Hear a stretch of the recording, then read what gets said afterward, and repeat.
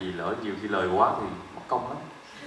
Dĩ nhiên đòi thêm tiền đúng không em xin trả lời câu hỏi của chị là để uh, quá thân mình được cần phải nhập vai không? Thật ra thì uh, trước khi đóng uh, trước khi mà đóng một tràng cảnh một phân đoạn nào đó thì giống chẳng hạn như là ba gia đình này đi thì phân đoạn phải cần để, để cao cảm xúc. Thì ba người có nói chuyện nhau trước rồi. Thật ra thì nói chuyện nhau rất là nhiều khi mà các bạn nhận một bộ phim hay là những cái vai nào mà mật thiết với mình liên quan tới mình thì mình phải nói chuyện nhiều tương tác nhiều. Để sao hồi xưa ta hay làm hay nói là phải nhìn vô mắt nhau đi nhìn mắt nhìn nhau đi hay là nói chuyện nhau nhiều để biết tâm tính của bạn diễn mình như thế nào để mà để mà mình còn, phát phán đoán mình hành động. Để có cái tại vì biết sao? Tại vì diễn viên có hay cái là ờ, khi mà mình tiếp xúc với nhau nhiều mình hiểu nhau nhiều thì đôi khi mà linh chỉ cần linh ngồi xuống hay không trước khi ngồi xuống là là là hai đứa nhìn mắt nhau là biết là linh sẽ ngồi xuống rồi và tôi sẽ ngồi xuống kêu bên. Là tự động biết luôn lúc mà quay sang nó ủa tại sao, tại sao anh ngồi vậy? Chứ ờ tại vì anh nghĩ là em sẽ ngồi và có nhiều thứ như vậy. Cho nên uh, muốn nhập vai thì là tụi mình phải phải nói chuyện với nhau nhiều. Rồi uh, bàn rồi cách diễn rồi trước khi diễn thì có có tập tập với đạo diễn riêng nữa. Đạo diễn cũng có một phần đôn cảm xúc cho mình không? Tất cả là nhiều. Rồi nói gì không? Rồi ba người có hôn nhau không kìa? À có hôn nhau thì uh, thật sự thì uh, dù là vợ chồng nhưng mà nhưng mình không có hôn nhau. Ờ ủa tại sao vợ anh mà em không hôn anh mà em hôn chàng trai kia là sao? Lăn lòi. À, sự thật thì à, hôn nhau thì à, hai vợ chồng không không có cảnh đã hôn nhau chỉ có cảnh đánh nhau thôi. Chỉ cảnh chửi vả xỉ vả nhau thôi chứ không có hôn nhau. Còn hôn nhau thì để cho hai người kia trả lời đi. Có cảnh đóng quanh chỉ là chụp hình sơ sơ sơ thì vậy thôi chứ không có gì hết. Anh rồi anh có, có hôn đúng không anh? Ờ, thực ra là anh Tuấn nói thế là không đúng nhá có vợ anh Tuấn đây nhưng mà nhưng mà phải nói thật sự với nhà báo là là thậm chí là anh Tuấn và Dương Cẩm Linh là có cảnh nóng đấy ạ mọi người. Có cảnh nóng. Cảnh nóng chỉ là chụp hình thôi. Cảnh nóng chỉ là dấu chụp hình. Đâu, em nhớ là em nhớ cảnh nó quay tới hai ba tiếng đồng hồ nhưng mà ba tiếng là tại vì em cố tình làm sai. Anh nói đừng linh ơi đừng làm ơi anh quá mệt mỏi linh ơi nhưng gia đình gia giáo linh ơi em em cố tình em cứ em bị say mà em cứ vậy nè lúc anh hôn em em cứ quay quay về một cái thì chúng em cái môi anh thôi. Cái trời, đại diện đó cũng em. Em say mà tại sao em quay gì linh? Đó mà quay lại em cứ làm gì hoài. Anh Tuấn xong rồi thấy anh bối rối thì anh thấy thấy chị Linh ở dưới anh có vẻ bối rối thì anh cứ bình tĩnh nào em cứ cũng bình tĩnh từ từ thôi. Gia đình chúng ta gia giáo. Đừng bao giờ nghe lời ai hết. Nghe lời anh được rồi đúng không? Người ta cũng trong nghề ta biết anh không cần thanh minh anh ơi. Rồi à, còn cái ý nào nữa đó? Như hỏi chị. Rồi bây giờ ý phản ứng hóa học của hai người kìa. Ờ, lên thích ai đó.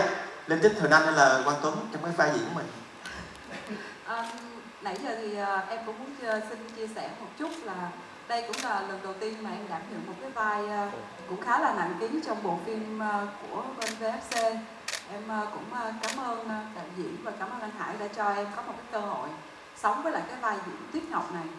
Vai diễn của em à, phải nói là trong lúc mà em nhận cái vai này là em cân nhắc rất là kỹ. Em không biết là mình có đủ khả năng đủ uh, tỉnh táo để làm nổi cái vai này hay không tại vì nó có trong cái vai diễn này nó có vài lúc vài điều làm cho em suy nghĩ. Những cái cái trường đoạn đó em thấy hay là một cái sự trùng hợp. Hay là như thế nào đó mà cái cơ hội đưa cho em tới cái vai diễn này. Và uh, đặc biệt là đạo diễn uh, Đức Hiếu em cảm ơn rất là nhiều vì anh đã uh, đẩy em vô cái vai này và luôn làm cho em có được một cái tinh thần tốt nhất để uh, À, nhiều khi cái vai diễn này nó nó, nó đồng cảm với em quá đôi lúc mình bị ờ, ngồi thừ ra đó rồi cuốn theo rồi bị bất bất đồng quan điểm với lại cái vai diễn đó luôn rồi ngồi ra mình tưởng tượng ra cái vai của mình cái cuộc đời của mình. Ngồi ra mình thẫn thờ với cái vai đó có những lúc mà qua cái vai diễn này mình cũng ờ, học hỏi được rất là nhiều. Và hai nữa là với Bao Quang Tuấn thì đây là lần thứ hai em hợp tác rồi. May mắn là được ờ, cái người chồng của mình mà đóng cái vai này lại là Tuấn là bạn diễn à, chia sẻ nhiều nhất và hiểu ý nhất. Thì uh, hồi nãy thì, thì Quang Tuấn có trả lời là không có cái cảnh nào hôn nhau hết.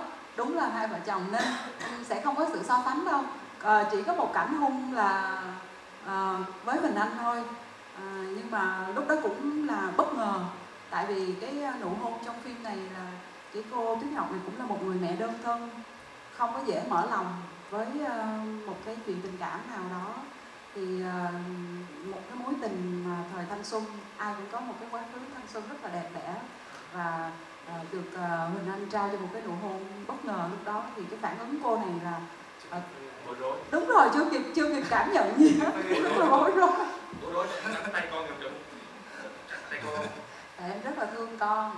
Trong phim này nếu như mà không phải là các vi thì không biết là mẹ linh có hoàn thành tốt cái vai diễn này hay không và cả ba, cả một cái gia đình nhỏ này luôn. Hầu như là những cái cảnh mà khóc, những cái cảnh mà đẩy lên cái cảm xúc cao trào nhất đó là vi diễn rất là tốt để làm cho cả ba lẫn mẹ cảm xúc được, cảm xúc rất là nhiều. Nếu như mà à, vì đứa con hai vợ chồng có thể làm tất cả vì đứa con hai vợ chồng có ghét nhau có không nhìn mặt nhau có là kẻ thù. Nhưng mà khi đứa con ngồi lại nhìn ánh mắt vi tự nhiên có một cái cảnh mà cái ngày đó là cái cảnh rất là quan trọng. Tuấn với lại uh, linh là phải đóng một cái cảnh đó nó nặng tâm lý lắm luôn. Nhưng mà khi mà cứ rất là lo sợ là mình sẽ không làm được cái cảnh đó tốt. Nhưng mà khi nhìn vô mắt với vi kêu mẹ ơi ba ơi hay là mẹ ơi giữ giữ ba lại đi trời ơi tự nhiên lúc đó nhờ con mà mẹ coi như là cảm xúc nó nó, nó, nó trào trực lên luôn đó mình nói là mình mình tưởng tượng đây là con của mình nếu thực sự con mình có những cái trăn trở đó mà nhìn vô mắt của vi làm vậy là mình tẩy hết cái cảm xúc thật của mình mà có bao nhiêu mình truyền lại hết. Em nghĩ là tuấn cũng vậy đúng không?